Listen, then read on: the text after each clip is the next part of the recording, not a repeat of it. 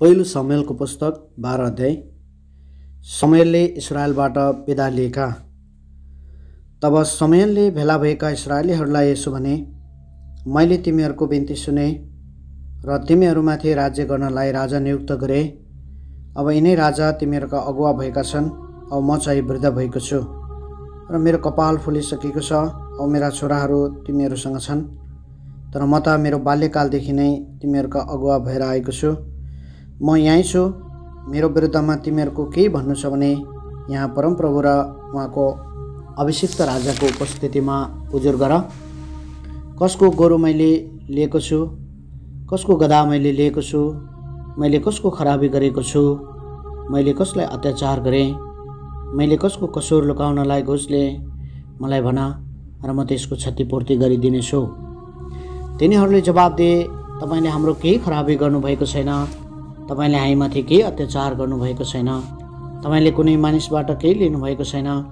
तब समयले तिनीहरूलाई भने मेरो हातमा केही भेटाएनौ भने आजको दिन परमप्रभु र उहाँको अभिषेक्त राजा साक्षी हुनुहुन्छ तिनीहरूले भने उहाँ साक्षी हुनुहुन्छ समयले मानिसहरूलाई भने हो परमप्रभु साक्षी हुनुहुन्छ।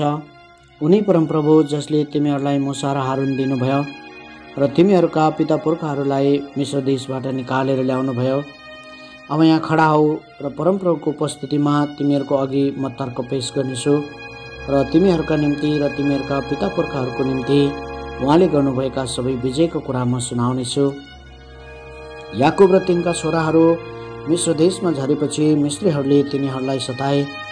तब तिमीहरूका पिता पुर्खाहरूले सहायताको निम्ति परमप्रभुलाई पुकारे।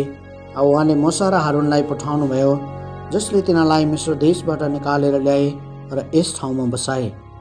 तर तिनीहरूले परमप्रभु आफ्ना परमेश्वरलाई बिर्से र उहाँले तिनीहरूलाई त्यागेर हासोरको राजा याबेनका सेनापति सिसरा अपलस्तीहरू र मोआबका राजाको हातमा सुम्पिदिनु भयो र तिनीहरूले उनीहरूका विरुद्धमा लडाइँ गर्नु पर्यो तब तिमीहरूका पिता पुर्खाहरूले सहायताको निम्ति यसो भनेर परमप्रभुलाई पुकारे।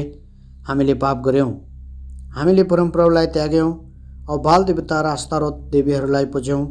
तर अब यदि तपाईँले हामीलाई हाम्रा शत्रुहरूबाट छुटकारा दिनुभयो भने हामी तपाईँको आराधना गर्नेछौँ। तब परमप्रभुले यरबाल र बाराक औ युक्त र सिमसोनलाई तिमीहरूका चारैतिरका शत्रुबाट छुटकारा दिनलाई पठाउनुभयो। औ तिमीहरू शान्ति र कुशलसित बस्न लाग्यौ। त्यसपछि जब अमनीहरूका राजा नाशलाई तिमीहरूका विरुद्धमा आइरहेका तिमीहरूले देख्यौ र परमप्रभु तिमीहरूका परमेश्वर नै तिमीहरूका राजा हुनु भए तापनि तिमीहरूले मलाई भन्यौ होइन हामीमाथि शासन गर्नलाई हामीलाई राजा दिनुहोस्। अब तिमीहरूले मागेका राजा यहाँ छन् तिमीहरूले तिनीहरूलाई चुन्यौ र परमप्रभुले एउटा राजा तिमीहरूमाथि नियुक्त गर्नुभयो। यदि तिमीहरूले परमप्रभुलाई श्रद्धा गर्यौ र सत्यता र भक्तिसित उहाँको सेवा गर्यौ भने यदि तिमीहरू उहाँका आज्ञाको विरुद्धमा बाघी भएनौ भने औ यदि तिमीहरू र तिमीहरूका राजा परमप्रभु परमेश्वरप्रति विश्वासी भयो भने बेसै हो। तर यदि तिमीहरूले परमप्रभुको आज्ञा पालन गरेनौ र तिमीहरू उहाँका आज्ञाप्रति बाघी भयो भने उहाँ पनि तिमीहरू र तिमीहरूका राजाको विरुद्ध खडा हुनुहुनेछ। अब चुपचाप खडा हो र परमप्रभुले तिमीहरूकै नजरको सामुने गर्नुहुने बडो अचम्मको कामलाई हेर। अहिले गहुँको कट्नेको समय छ जब म परमप्रभुलाई पुकार्नेछु उहाँले गर्जन र वृष्टि पठाउनुहुन्छ। तब तिमीहरूले देख्नेछौ र जानेछौ कि राजा मागेर तिमीहरूले परमप्रभुको दृष्टिमा कस्तो खराबी गरेका रहेछौ। तब समयले परमप्रभुलाई पुकारे र उहाँले त्यस दिन गर्जन र वृष्टि पठाउनु भयो औ सबै मानिसहरू परमप्रभु र सामेलसँग भयभीत भए। तिनीहरूले परमप्रभुलाई भने मृत्युदेखि बचाउन परमप्रभु तपाईँका परमेश्वरसँग हामी तपाईँका सेवकहरूको निम्ति प्रार्थना गरिदिनुहोस्। किनभने हामीले हाम्रा पापमाथि राजा मागेर यो ठुलो खराबी थपेका छौँ।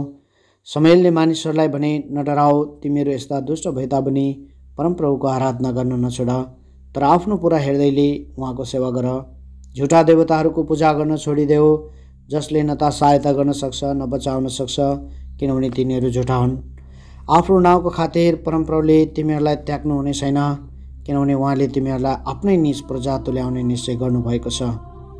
तिमीहरूको निम्ति प्रार्थना गर्नु छोडेर परमप्रभुको अघि पाप गर्ने दिन चाहिँ कहिले नहोस् जे ठिक र असल छ सो म तिमीहरूलाई देखाउनेछु। तिमीहरूले परमप्रभुको श्रद्धा गर्नु र तिमीहरूका पुरा हृदयले इमान्दारीसित उहाँको आराधना गर्नु। तिमीहरूका निम्ति उहाँले कस्तो ठुलो काम गर्नुभएको छ सो विचार गर। तर तिमीहरू खराबी नै गरिरहन्छौ भने तिमीहरू र तिमीहरूको राजा नष्ट हुनेछौ।